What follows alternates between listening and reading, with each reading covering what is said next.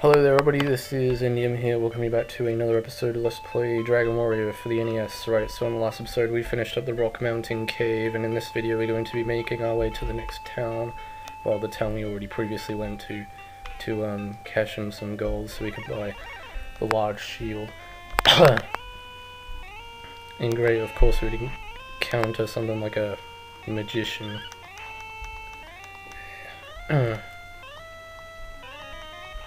Yeah, let's get this over with.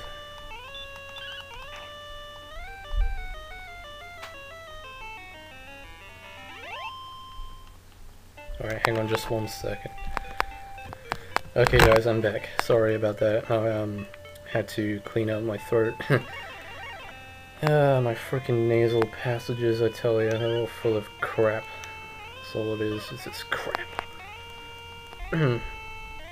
Speaking of crap, we're fighting friggin' Scorpion here, so... We're gonna get some really bad experience points for this. Yeah, six. Meh, stinks.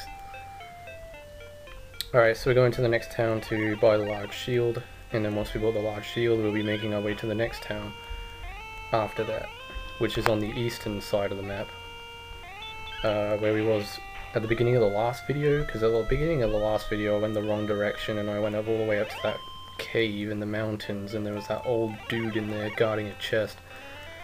well, we don't need to go back into that cave until much later, but however, there is a town out in that direction, in that same general vicinity.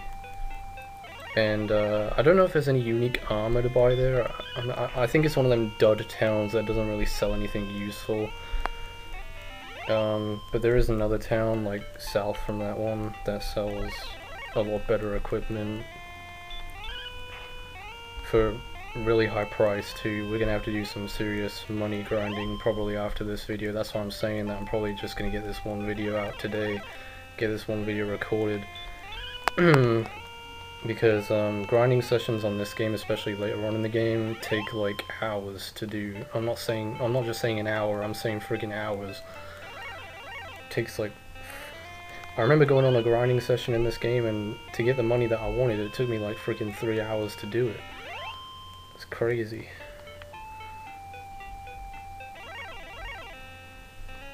I mean, that's why these games seem as long as they are, but they're not really that long at all. I mean, there's not that many dungeons to do in this game, there's not that many towns or places to go to. The map isn't that big. In fact, the map is that, that small that they actually reprogrammed this entire world map in Dragon Warrior 2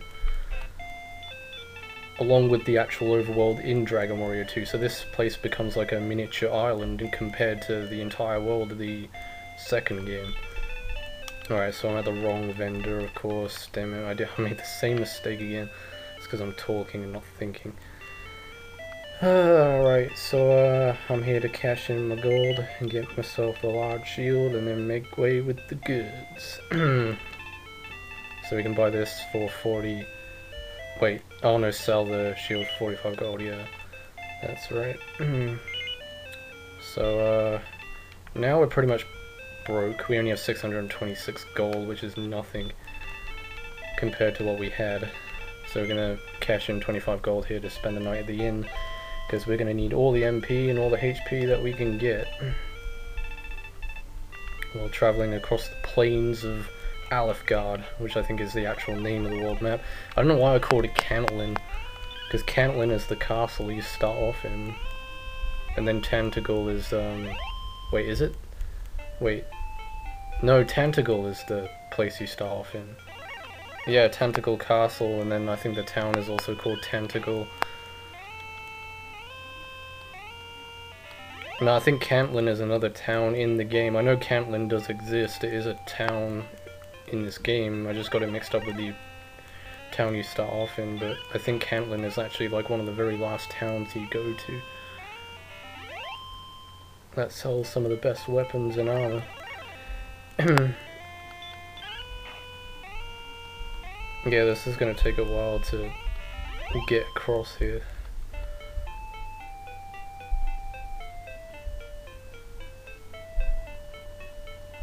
If we keep encountering enemies, that is. I just can't wait to get that repel spell, because then that'll help out a lot. I don't even know what level you learn that at, to be honest. I know it's one of the earlier levels in the game, so hopefully it'll be the next spell that we learn.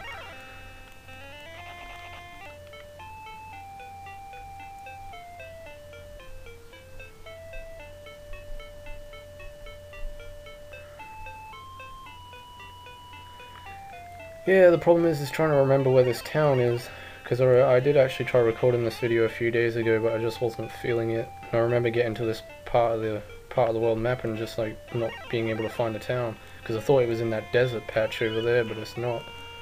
Like I thought it was like slap bang in the middle of the desert. I, I'm guessing it's further north here.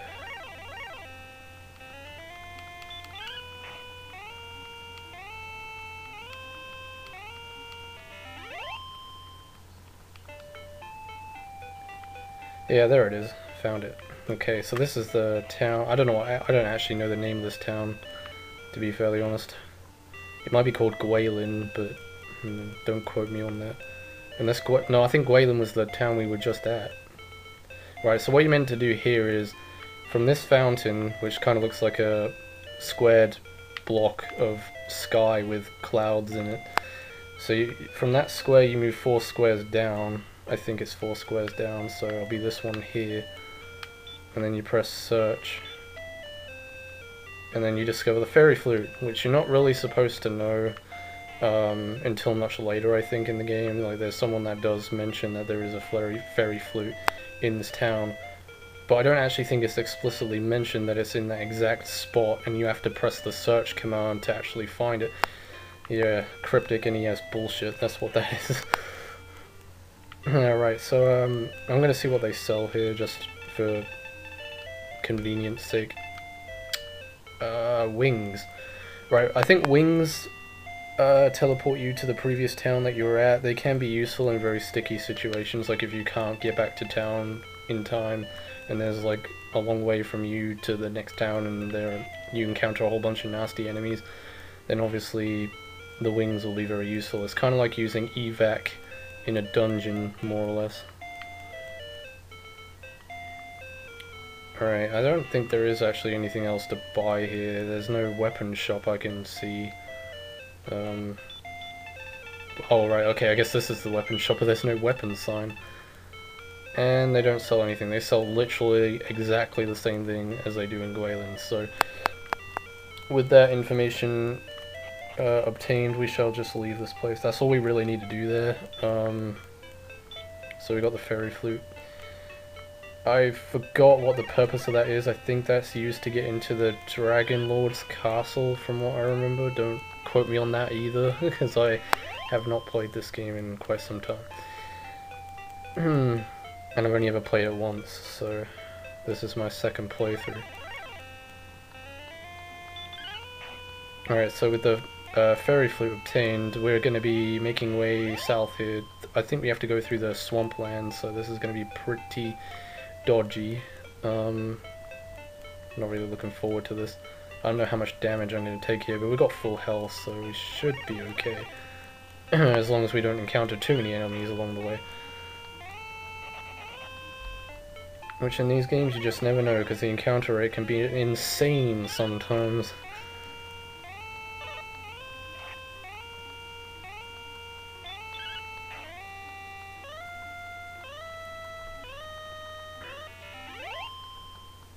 Increased by 6.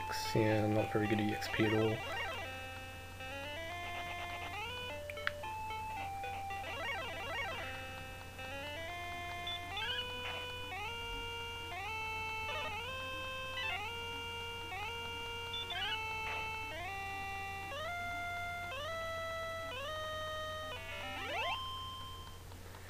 Anyways, hinted by the swampland that is encompassing this cave right here, it's no, it's no wonder why this cave is called the Swamp Cave.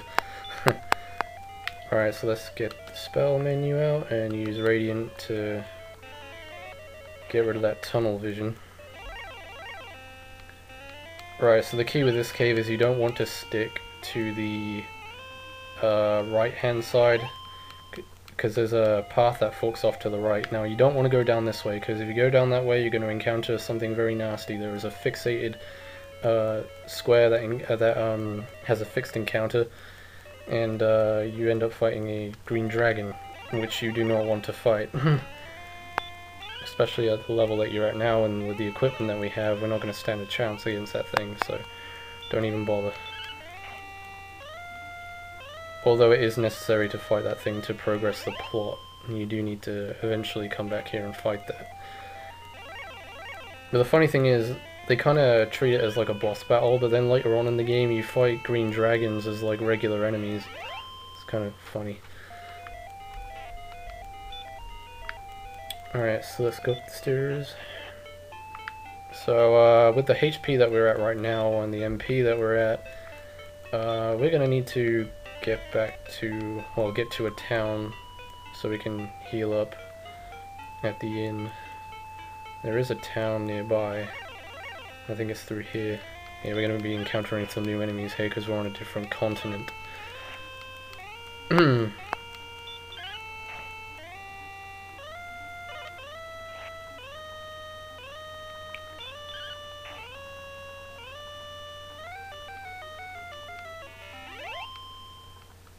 So it's obviously uh, necessary that we're going to be needing to grind up for some money to buy some more stronger weapons before we can make any more progress in this game because we will end up getting our asses kicked and we'll be extremely sorry for not one for not going in buying some better equipment.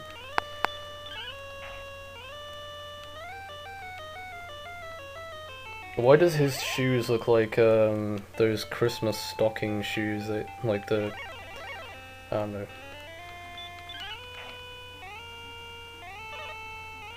Oh god, okay, we're running a bit low on HP here, so we're gonna have to use the heal spell before we die.